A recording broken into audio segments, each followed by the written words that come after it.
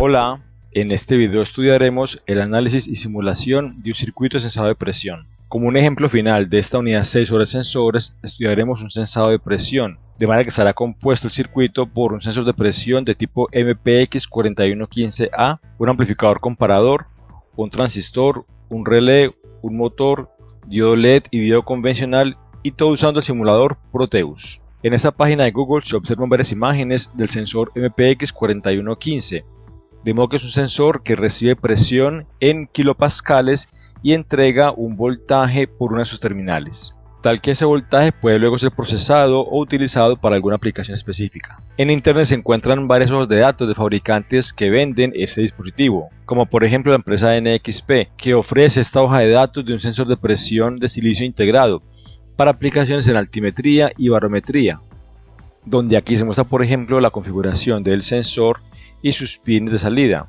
de manera que tenemos el voltaje de salida en el pin 1, observado aquí en, esta, en este dibujo, la tierra en el pin 2 y el voltaje de entrada de polarización VS en el pin 3. Por otro lado también se observa en esta hoja de datos en la figura 4 la relación entre voltaje de salida y la presión absoluta que recibe el sensor, de manera que una relación lineal definida en este caso por la ecuación mostrada aquí en la parte inferior. El voltaje de salida es el voltaje de alimentación VS por la presión en kilopascales por 0.009 menos 0.095, más o menos el error debido a la medida de la presión.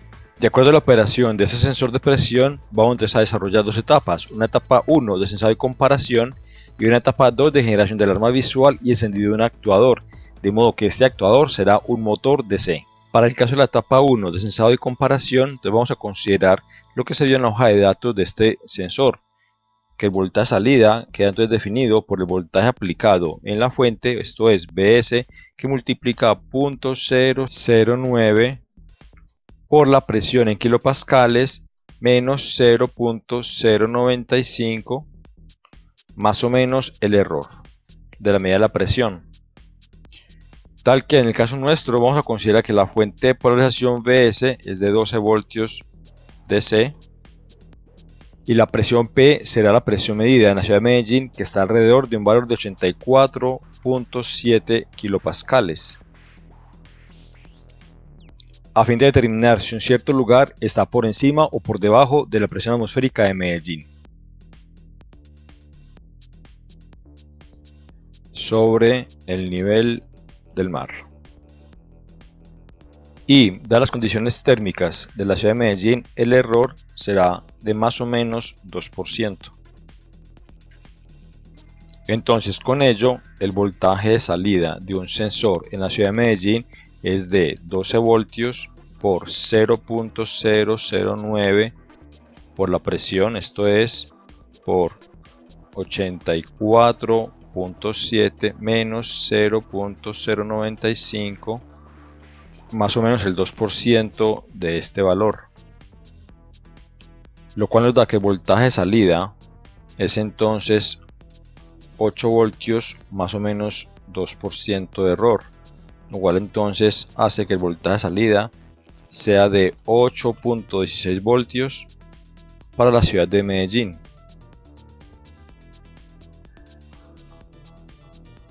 voltaje entonces que será posteriormente el voltaje de referencia de nuestro comparador.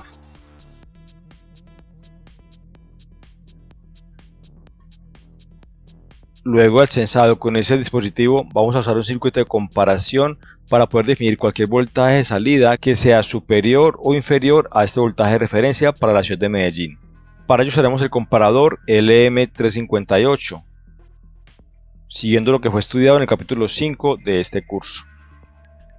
Tal que el voltaje de referencia queda entonces definido por la relación entre una resistencia de R2 y la suma entre una resistencia de R1 más R2, que multiplica un voltaje VCC que alimenta el comparador. En el caso nuestro haremos que esta suma sea un potenciómetro que variaremos a fin de definir la resistencia R2. Y dado que para el caso de la ciudad de Medellín este voltaje de referencia fue encontrado como el voltaje de salida del sensor como 8.16 voltios, Entonces tenemos que la relación del potenciómetro entre R2 y R1 más R2 será entonces la relación entre voltaje de referencia para la ciudad de Medellín y el voltaje BCC, que en el caso nuestro será 8.16 voltios sobre 12 voltios, lo cual nos da una relación de 68% aproximadamente. Procedamos ahora a simular Proteus para implementar ese sistema de comparación y de sensado.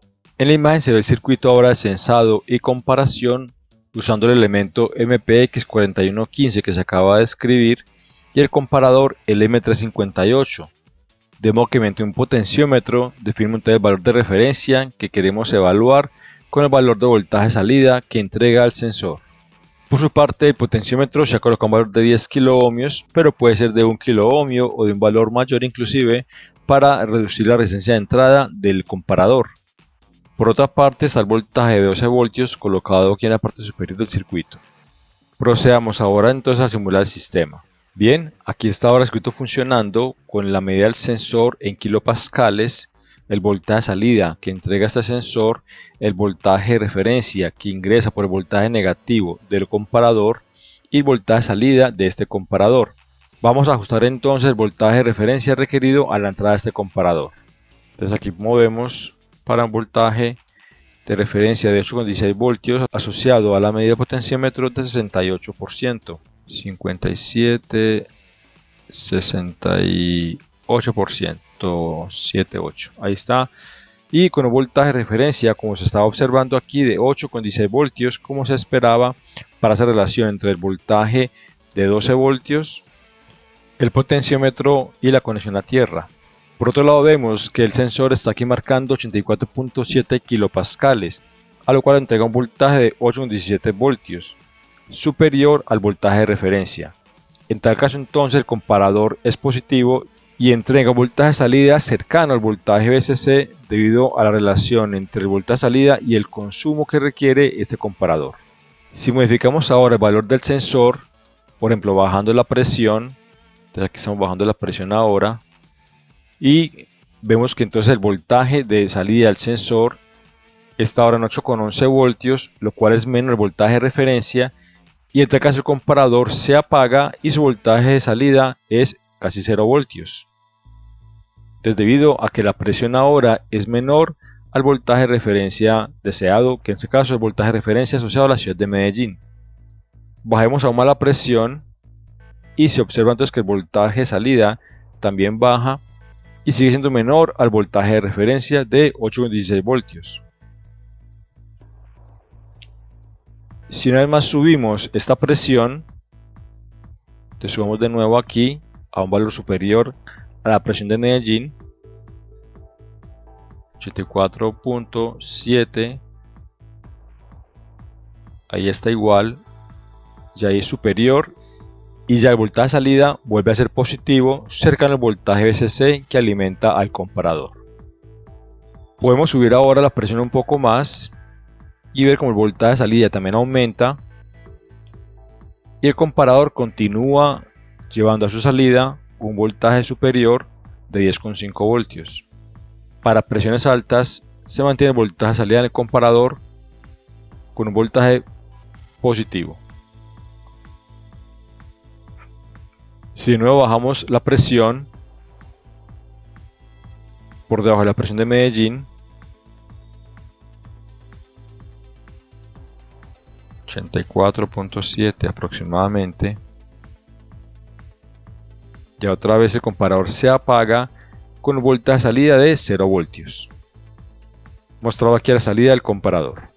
Para la etapa 2 de este sistema vamos a desarrollar un circuito de generación del alarma visual y activación de un actuador, en este caso un motor DC que será activado a través de un relé, de manera que esta activación será llevada a cabo a través de un transistor saturado.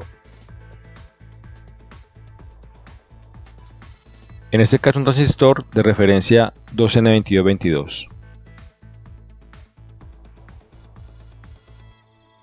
el cual va a recibir un voltaje de entrada proveniente del comparador, esto es un voltaje VI que es igual al voltaje de salida del comparador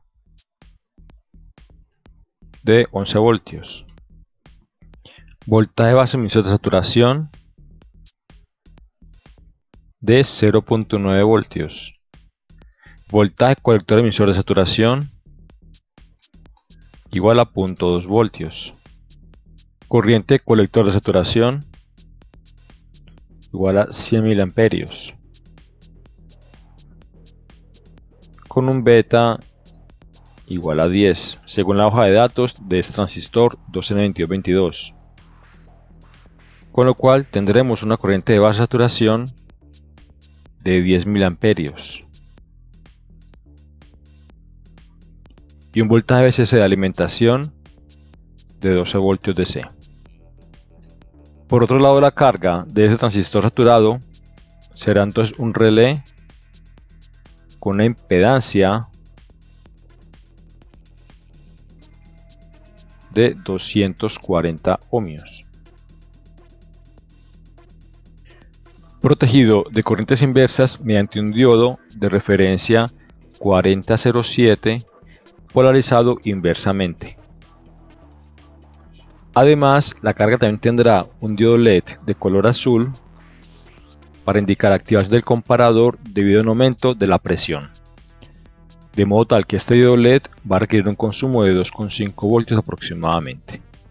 En la figura se muestra el circuito completo donde está aquí en la parte derecha el transistor 2N2222, el motor DC con una fuente de 12 voltios, el relé que al cerrarse aquí activa el motor y un diodo 1N4007 para proteger este relé de cualquier corriente inversa que quiera llegar a través del relé. Además también un diodo LED de color azul para indicar activación de transistor debido a la activación del comparador. También agregando una resistencia de 220 ohmios para proteger al diodo LED de cualquier corriente grande que quiera circular por allí. Dado que la impedancia entre este relé de 240 ohmios, se requiere calcular cuánto vale RB a fin de que se pueda activar el transistor 2N2222 tal voltaje salida entregado por el comparador. Para ello planteemos las ecuaciones de la etapa de entrada del transistor 2N2222. Entonces el voltaje de entrada a transistor que es igual al voltaje de salida del comparador lo cual es igual a la resistencia de base de transistor por la corriente de base saturación más el voltaje base emisor en saturación. Desde aquí, dado cada valor definido para la operación de transistor de la resistencia de base es igual al voltaje de entrada menos el voltaje base emisor en saturación sobre la corriente de base en saturación. Entonces dando valores a esto, tenemos que la resistencia de base debe ser entonces voltaje de entrada, que es de 11 voltios, que es voltaje de salida del comparador, menos 0.9 voltios, voltaje base emisor de saturación, sobre la corriente de base de saturación, que es de 10 miliamperios. Entonces con ello, la resistencia de base debe ser de 1 kilo ohmio. Por otro lado, en la salida transistor solo se requiere verificar que el transistor trabaje adecuadamente en saturación. Para ello basta calcular la corriente de saturación que circula por esta carga, da la condición requerida de voltaje colector emisor de 0.2 voltios. Así, el voltaje VCC de la fuente debe ser entonces igual a la R de carga total por la corriente colector en saturación más el voltaje colector emisor en saturación. De modo que entonces la corriente colectora saturación debe quedar verificado por BCC menos voltaje colector de emisión de saturación sobre la carga RL. De manera que en este caso la carga RL es igual a la impedancia equivalente vista en este lado del circuito, la cual es aproximadamente igual a la resistencia interna de encendido del LED más su R de protección, esto de la R que colocamos allí de 120 ohmios, Todo ello en paralelo con la resistencia equivalente del relé. Entonces esta RL equivalente es aproximadamente igual a 240 ohmios. De aquí 20 ohmios más 220 ohmios de este lado en paralelo con 240 ohmios de la impedancia salida del relé. Esto es la cara equivalente es aproximadamente igual a 120 ohmios. Entonces con ello la corriente colectora en saturación será 12 voltios menos 0.2 voltios sobre la RL equivalente que es de 120 ohmios. Esto es la corriente colectora en saturación. Entonces resultará ser de aproximadamente 98 miliamperios.